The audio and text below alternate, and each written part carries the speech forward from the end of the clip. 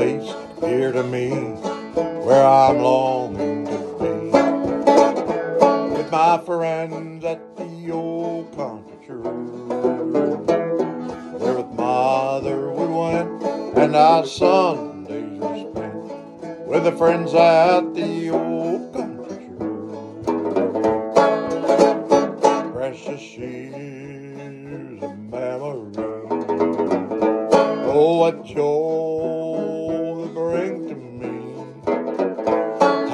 long once more to be with my friend at the old country church.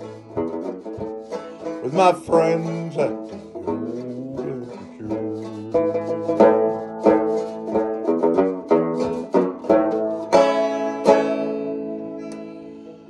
Hey, finally got her all tuned up there.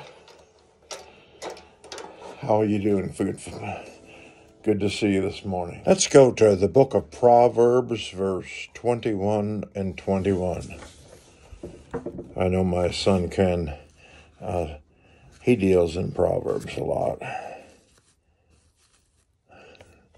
Let's take that thing right off. Okay? 21 and 21. Have we got it? Let's start the day off talking about pursuing the right things so we'll be rewarded adequately from the only one that can make us prosperous.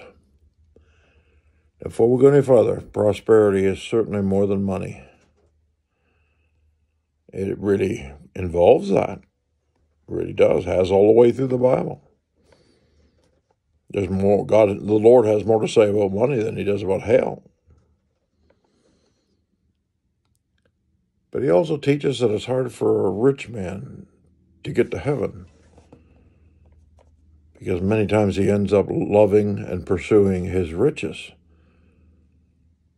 more than looking for God and pursuing God and his righteousness and holiness and his peace and his love. So here in this verse, it says, He who pursues righteousness and love will find life and prosperity and honor. I think what this was really saying is, you know, he says, if you pursue righteousness and love, and then he says, you will find life, prosperity, and honor obviously you're getting more back than what you're pursuing. You're getting more back than what you're going after. No doubt in my mind.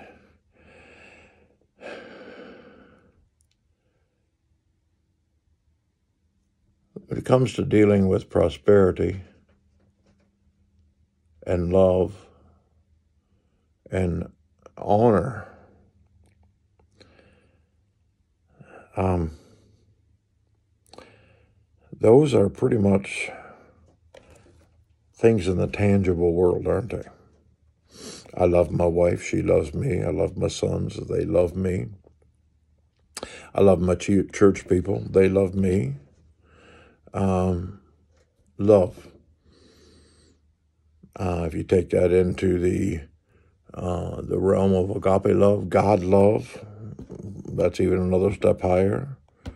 Or if you go to the phileo love that uh, talks about sexual love and and even even deals with the love that you feel in your heart when you embrace a friend. If you you don't want to come around Mountaintop Ministries if you don't want to get a hug, or if you do, just tell us right off the bat. You know, just put your hand up and say I'm not a hugger. That'll do it. That'll do it. I got a number of people that come here that are not huggers, but most people come here because they're.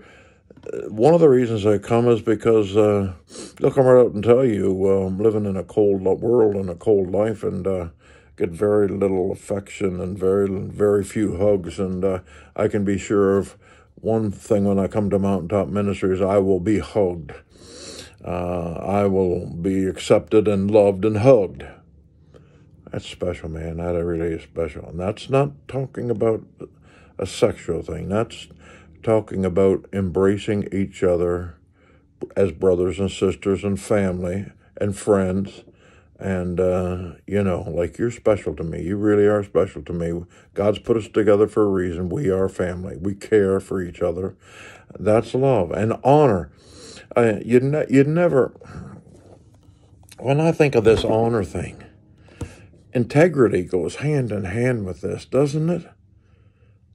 You know, Ken, doesn't, doesn't, I'm talking to Junior here, doesn't integrity, you and I talk about integrity a lot, but doesn't integrity go hand in hand with honor? If you, if you seek for honor and act in an with a high level of integrity, they go hand in hand. But if if you come up short on integrity and you know and virtue and integrity and and and lying and stealing or cheating or just just not following through with your word, uh, you know, it, it it's not an honorable situation. You know, it really isn't. So there's a good start for you for the day. It really is, and prosperity.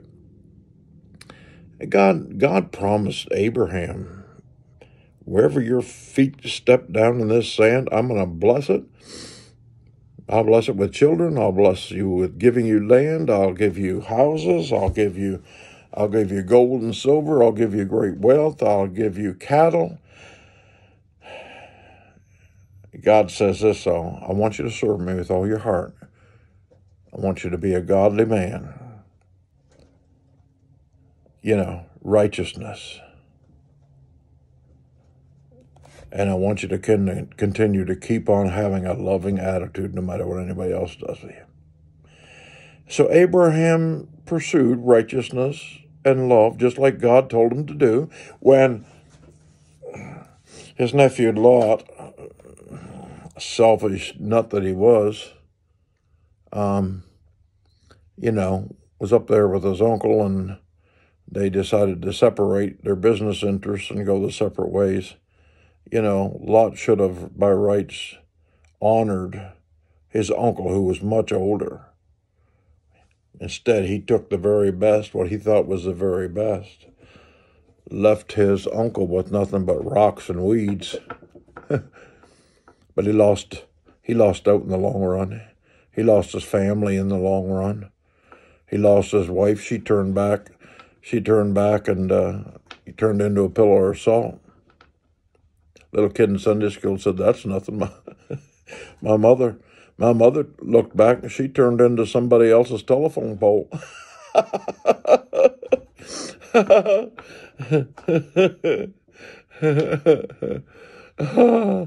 it's like the lady that called her husband and said, "Honey, the car won't start." He said, "Why?"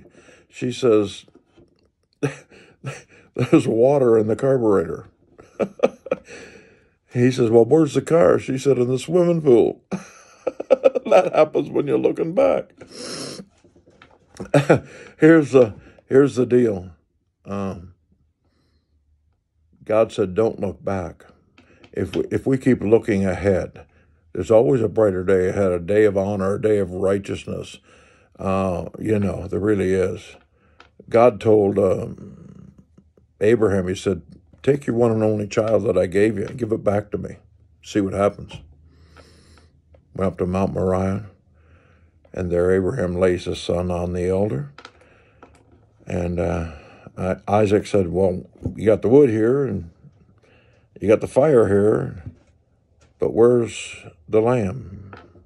God will provide, son. God will provide. Now, how, how he ever got his son that was strong and vital in his youth to lay down on that altar because God told his dad to do it is more than I know.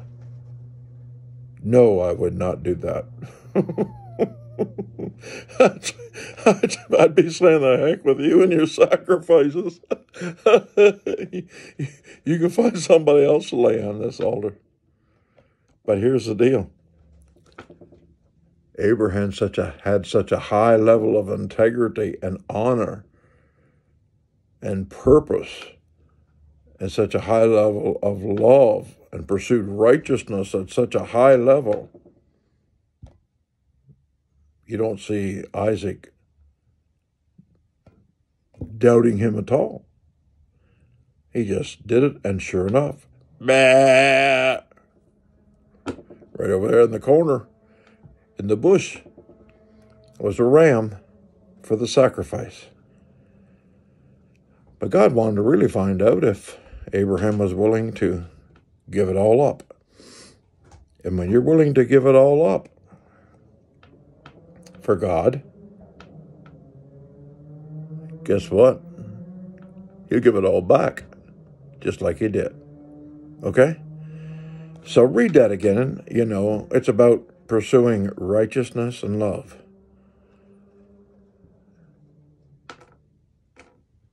The love of God what makes him happy. And if a person does that, they find life, prosperity, and honor. Isn't that a great verse? That's for mostly that that's I'm sending that out to all the business people I know today. All the business people that I know today. God bless you. God bless you and prosper you and make his way to shine upon you in Jesus' precious holy name. Amen and amen. If there's any of you out there that I've never met and uh, you're in business and you would like to say, that was for me, that was good, uh, you know, feel free to comment. I just love to meet you. Love to meet you. And uh, so uh, jump on there, okay? We'll see you later and have a great day with Pastor Ken Reid and Charlotte. Rise and shine.